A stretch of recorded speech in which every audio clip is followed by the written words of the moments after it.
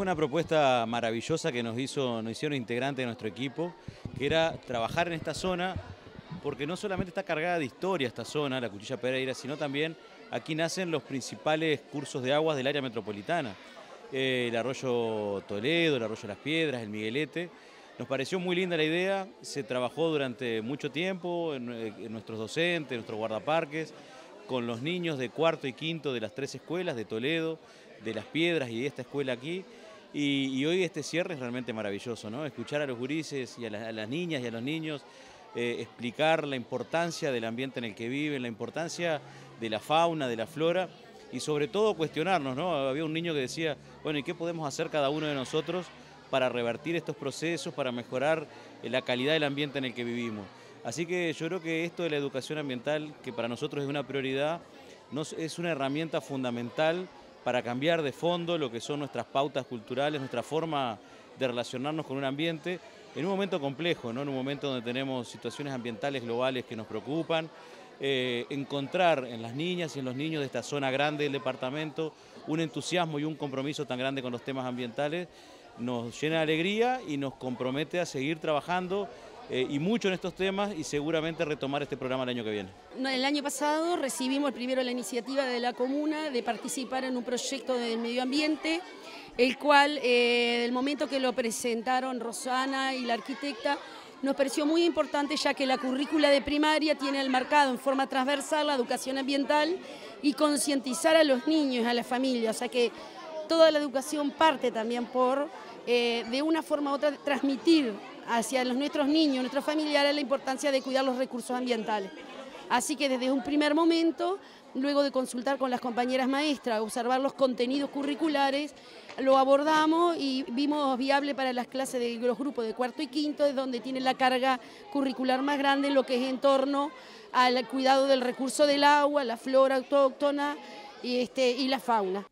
Bueno, aprendimos un poco, reflexionamos sobre lo que tenemos que hacer con los arroyos, este, cómo tenemos que cuidarlo, que no tenemos que contaminarlo, porque esa agua que nosotros tenemos no solo para, para, por ejemplo, para tomarla, también existe para los animales. Y, por ejemplo, si un animal toma un agua contaminada, nosotros, nos vamos a contaminar también. Estas escuelas sí están ubicadas. El, año pasado empezamos con la escuela 12, este año se amplió a la escuela 277 y 59, Carrasco del Sauce, es donde nacen los tres arroyos metropolitanos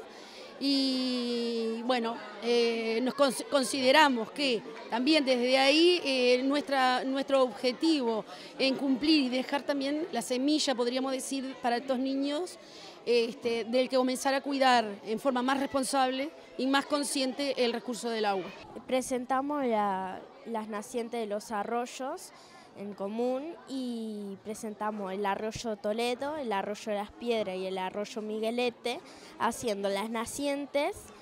y el, hilito del arroyo, hasta llegar a, la desembocadura del arroyo. Y después hicimos maquetas sobre eso mismo. Las maquetas están representadas por algunos compañeros de cuarto y de quinto de nuestra escuela, que algunas son del Toledo, del arroyo Las Piedras y del arroyo Miguelete. Algunas, algunas fue hecha con compañeros de quinto y algunas de cuarto. Todas tienen son todas lo mismo porque casi todos son, tienen similitudes, que es la contaminación, el agua sucia y la fauna y la flora. Hay algunos animales que toman esa agua o comen o viven en el agua que con esa agua se contaminan y después algunos como los peces comemos nosotros y nos contaminamos nosotros. Y el agua también nos contamina a nosotros. Desde dentro del proyecto que lo bajaron al, currículum del programa, los maestros consideraron oportuno no solo la participación de los niños, sino que como el objetivo era concientizar, se buscó también que las familias este, eh, participaran en diferentes situaciones. O sea que no solo investigaron en trabajos de campo, sino también que lograron investigar a través de la escritura, lectura y oralidad en diferentes programas de, la, de tecnología y también hicieron trabajo con los padres, en el sentido de que invitaron a los padres, lo hicieron partícipes y en eso de hacerlos partícipes hicieron trabajos en equipo donde mostraron las diferentes nacientes, o sea que hicieron maquetas o pequeños bocetos donde mostraban las nacientes de los tres arroyos. Después de cada investigación que hoy terminó en un producto final que fue no solo la exposición de las características de cada de los arroyos que nacen acá en esta zona, con su flora y fauna o mm, perfeccionando el curso, sino que también en una maqueta de donde estarían ubicados, tomando la parte topológica, las elevaciones, este, y ahí lo mostraron en la maqueta como producto final.